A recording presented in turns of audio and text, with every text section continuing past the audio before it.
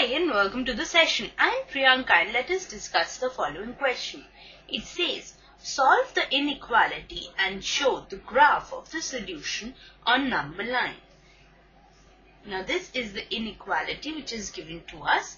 That is 5x minus 3 is greater than equal to 3x minus 5. Let us proceed.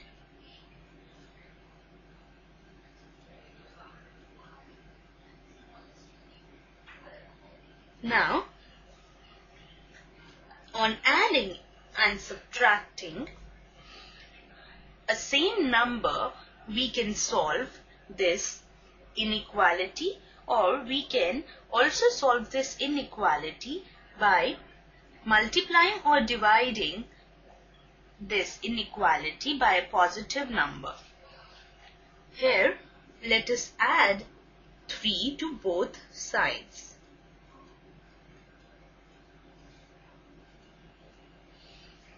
On simplification we have 5x is greater than equal to 3x minus 2.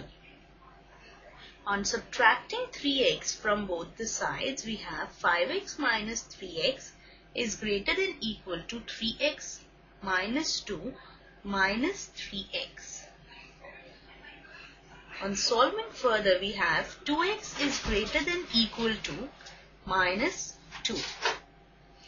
Dividing both the sides by a positive number that is 2, we have 2x divided by 2 is greater than equal to minus 2 by 2 which on simplification gives us x is greater than equal to minus 1. Hence, for real x, the solution set consists of all real numbers greater than equal to minus 1.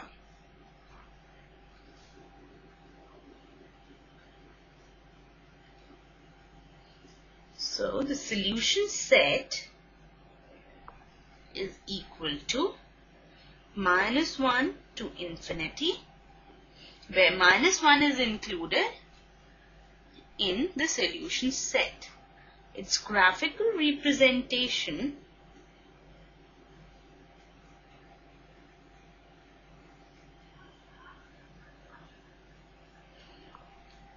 of the solution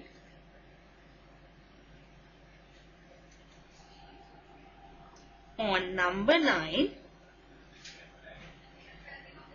will be shown. Let us have a graph.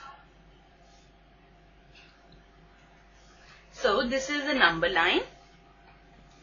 The solution set is minus 1 to infinity. So the answer will be, it will be represented in a way where this blue line is going. So,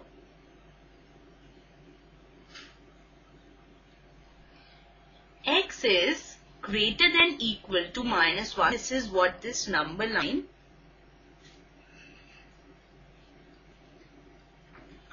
is representing. So, I hope you enjoyed the session.